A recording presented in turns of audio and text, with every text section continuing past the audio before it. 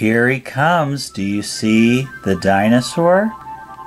Here's a velociraptor.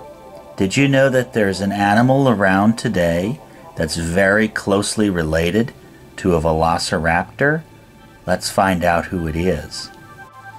We have a snake, we have an alligator, we have a turtle, and we have a blue jay. Which animal that is alive today do you think is the most closely related to that dinosaur I just showed you? Our snake. Now, you wouldn't be alone if you thought the snake was the closest related animal to a dinosaur. However, it's not. Of all the animals that we have here, the snake is not the closest related animal.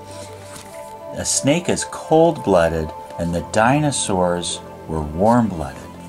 Now, some of you might think that the dinosaurs were really closely related to the crocodiles or alligator family of animals.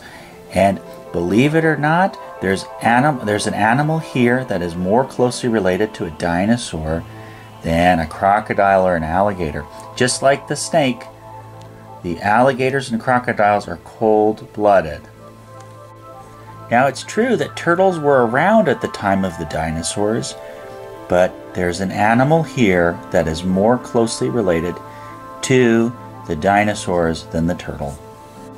So we have a snake, an alligator, a turtle, and a blue jay. Believe it or not, the blue jay in your backyard is the most closely related animal of the animals that we have here to the dinosaurs.